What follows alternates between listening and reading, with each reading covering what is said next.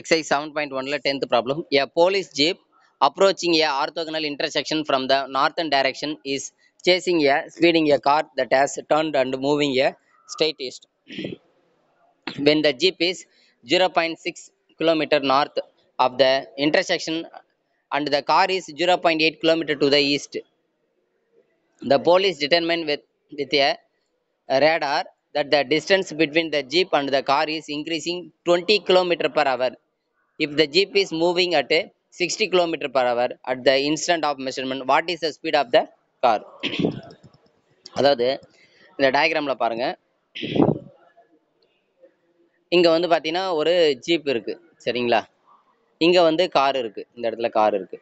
இப்போ இங்கேருந்து ஜீப் வந்து என்ன ஆகுதுன்னா இந்த காரை நோக்கி வந்துட்டு இருக்கு ஆனால் இந்த கார் வந்து என்ன ஆகுதுன்னா அது வேற ஒரு டைரக்ஷனில் வந்து எஸ்கேப் ஆகி போயிட்டு இருக்காங்க இப்போ இந்த ஜீப் இங்க காரை நோக்கி வர வர இந்த கார் எஸ்கேப் ஆகி போயிட்டே இருக்கு இல்லையா? இப்போ இதுக்கு உள்ள டிஸ்டன்ஸ் இருக்கு இல்லையா? அந்த காருக்கும் ஜீப்புக்கும் உள்ள அந்த ஷார்ட்டஸ்ட் டிஸ்டன்ஸ் வந்து இசட்டுன்னு எடுத்துக்கிறாங்க பாருங்க இசட்டு அந்த கார் மூவ் ஆகிற டிஸ்டன்ஸ் வந்து எக்ஸு அதே மாதிரி ஜீப்போட டிஸ்டன்ஸ் வந்து ஒய் அப்படின்னு எடுத்துக்கிறோம் இப்போ எவ்வளோ டிஸ்டன்ஸில் இருக்கு அப்படின்றதே அதையும் கொடுத்துருக்காங்க பாருங்க.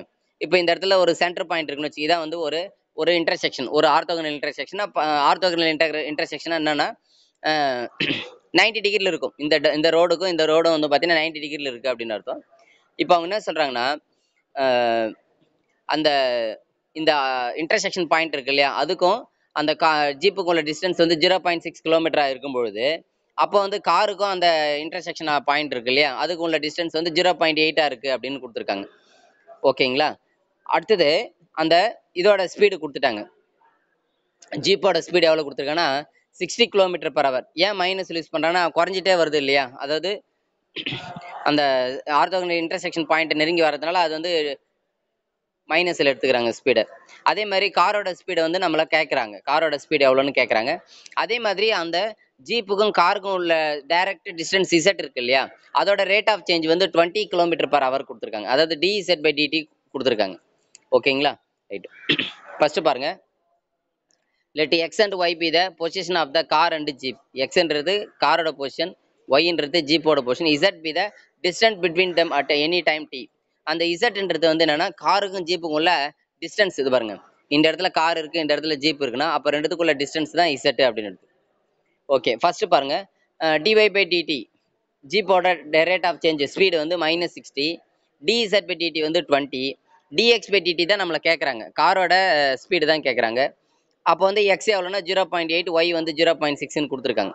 முதல்ல அதை வச்சுக்கிட்டு இசட்டை கண்டுபிடிக்கலாம். பித்தாகரஸ் எடுத்து யூஸ் பண்ணி இசட்டை கண்டுபிடிக்கலாம். இது வந்து ஒரு ரைட் ஆங்கிள் ட்ரையாங்களா அதை வச்சுக்கிட்டு என்ன பண்ணலாம் நம்ம? Z square equal to X square plus Y square அதில் எக்ஸோட வேல்யூ ஜீரோ பாயிண்ட் எயிட் ஒய்யோட value zero point six substitute பண்ணி என்ன பண்ணலாம் நம்ம? இசட் கண்டுபிடிக்கலாம். இசட் என்ன வருது அப்படின்னு பார்த்தீங்கன்னா ஒன்னு கிடைக்குது இசட் எப்படின்னா Z square equal to X வந்து ஜீரோ பாயிண்ட் எயிட் ஸ்கொயர் பண்ணிங்கன்னா ஜீரோ பாயிண்ட் சிக்ஸ் ஃபோர் வரும் plus zero point six square பண்ணி ஜீரோ பாயிண்ட் த்ரீ சிக்ஸ் வரும். ரெண்டுத்தையும் ஆட் பண்ணிங்கன்னா ஒன் வரும். அப்போ Z square equal to one அப்போ இசட் ஈக்குவல் டு ஒன்னு கிடைக்கும். சரிங்களா? ஓகே இப்போ என்ன பண்ண போகிறோன்னா அதே பித்தாகரஸ் ஈக்குவேஷனே எடுத்துக்கலாம்.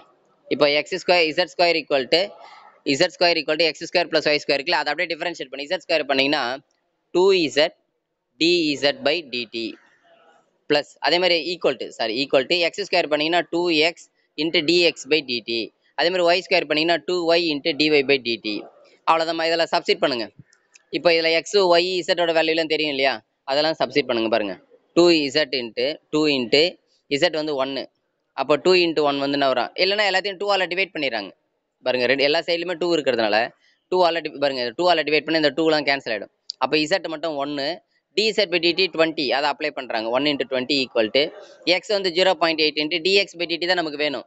ப்ளஸ் ஒய் வந்து zero point six into D Y D T வந்து minus zero point minus sixty அவ்வளோ இது சிம்ப்ளை பண்ணால் நமக்கு டிஎக்ஸ் பை டிடி கிடச்சிடும் இப்போ இதை மல்டிப்ளை பண்ணால் சிக்ஸ் சிக்ஸ்டி இன்ட்டு சிக்ஸ் வந்து மைனஸ் தேர்ட்டி சிக்ஸ் வரும். Minus thirty six right side கொண்டு வந்தால் ப்ளஸ் தேர்ட்டி சிக்ஸ் ஆகிடும் அப்போது D X by D T equal to என்ன ஆகும்னா fifty six by zero point eight வரும் டிவைட் பண்ணோம் ஃபிஃப்டி சிக்ஸை ஜீரோ பாயிண்ட் எயிட்டால் டிவைட் பண்ணினா செவன்ட்டி கிலோமீட்டர் பர் ஹவர் இதுதான் வந்து பார்த்தீங்கன்னா காரோட ஸ்பீடு ஜீப்போட ஸ்பீடு வந்து சிக்ஸ்டியில் வந்துட்டு இருக்காங்க நெருங்கி வந்துட்டு இருக்காங்க. கார் வந்து அவங்க கிட்ட இருந்து எஸ்கேப் ஆகி செவன்ட்டி கிலோமீட்டர் பர் ஹவரில் போயிட்டு இருக்கு. சரிங்களா? ஸோ ஆன்சர் வந்து டிஎக்ஸ்பிடிடி காரோட ஸ்பீடு வந்து பார்த்தீங்கன்னா D X by D T seventy kilometer per hour